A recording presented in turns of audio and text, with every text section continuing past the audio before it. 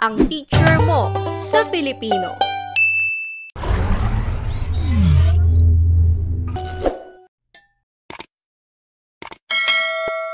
Ang tatalakayin nating panitikan ngayon ay isang kwentong bayan. Pero, ano ba muna ang isang kwentong bayan? Mulat tayong mga Pilipino sa pakikipagkapwa-tao na namana natin sa ating mga ninuno. Sa katunayan, kilalang kilala ang bayanihan, ang sama-samang pagpasan sa ililipat na bahay, bagamat nabigyan na ito ng bagong bihis sa kasalukuyang panahon. Nariyan din ang pasuyo o sama-samang pag-aararo ng bukid, pamamanhikan o sama-samang pagtungo sa bahay ng dalagang napupusuan ng isang binata upang ipabatid sa magulang ang pag-ibig nito at ang belasyon o sama-samang pakikipaglamay sa isang namatayan ng mahal sa buhay at marami pang iba. Ang mga serye ng pagsasama-sama o mga pagtitipong ito ay kadalasang nauuwi sa mga pagbibidahan, biruan, laruan, awitan, at kwentuhan pinakapopular dito ang kwentuhan na kung hindi man tungkol sa buhay-buhay ay tungkol sa mga namanang salaysay. Mula rito, nabuo ang pagkukwentuhang bayan o kwentong bayan. Ayon kay Arogante noong 2010, ang kwentong bayan ay pasalitang pagkukwento na ang ginagamit na pamamaraan ng pagsasalita ay tulad sa natural na pang-araw-araw na pag-uusap ang salitang bayan sa kwentong bayan ay dahil hindi nalalaman kung sino ang taong orihinal na naglalahad ng istorya dahil nagpasalin-salin na lamang sa bibig ng nakararami ang kwento. Walang tanging nagmamay-ari ng mga ito, kundi ang bayan.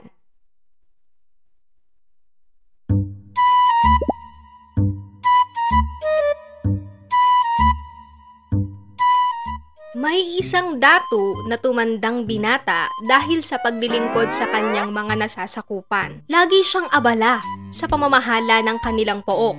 Nalimutan ng datu ang mag-asawa. Siya ay pinayuhan ng matatandang tagapayo na kinakailangan niyang mag-asawa upang magkaroon siya ng anak na magiging tagapagmana niya. Napilitang mamili ang datu ng kakasamahin niya habang buhay. Naging pihikan ang datu dahil sa dami ng magagandang dilag sa pinamumunuang pamayanan. Sa tulong ng matiyagang pagpapayo ng matatandang bumubuo ng konseho, natuturing umibig ang datu. Ngunit hindi lamang iisang dilag ang napili ng datu, kundi dalawang dalagang maganda na ay mababait pa dahil sa wala siyang hmm. itulak kabigin hmm. kung sino sa dalawa ang higit niyang mahal, ay pinakasalan niya ang dalawang dalaga. Ang isa sa dalagang pinakasalan ng datu ay si Hasmin. Siya ay batang bata at napakalambing. Kahit na matanda ang datu, mahal ni Hasmin ang asawa. Mahal na mahal din siya ng datu, kaya ipinagkaloob sa kanya ang bawat hilingin niya. Dahil sa pagmamahal sa matandang datu, umisip si Hasmin ng paraan upang magmukhang bata ang asawa. Ah! Bubunutin ko ang mapuputing buhok ng datu. Sa ganito, magmumukhang kasing gulang ko oh, lamang siya. Ganoon nga ang ginawa ni Hasmin. Sa tuwing mamamahinga ang datu, binubunutan ni Hasmin ng puting buhok ang asawa. Dahil dito, madaling nakatutulog ang datu at napakahimbing pa. Mahal din ng datu si Farida, ang isa pa niyang asawa. Maganda at mabait si Farida, ngunit kasing tanda ng datu. Tuwang-tuwa si Farida kapag nakikita ang puting buhok ng datu. Kahit maganda siya, ayaw niyang magmukhang matanda. Tuwing tanghali, sinusuklayan ni Farida ang datu Kapag tulog na ang datu, palihim niyang binubunot ang itim na buhok ng kanyang asawa. Dahil sa ipinakitang pagmamahal ng dalawa sa asawa, siyang-siya sa buhay ang datu. Maligayang maligaya ang datu at pinagsisihan niya kung bakit hindi agad siya nag-asawa. Ngunit gayon na lamang ang kanyang pagkabigla nang minsang manalamin siya.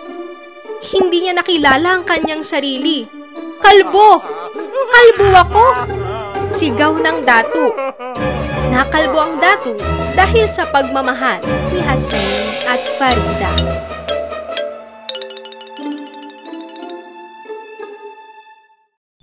Kaibigan, ano-ano ba ang napansin mong kalagayang panlipunan sa napakinggan o napanood mong kwentong bayan?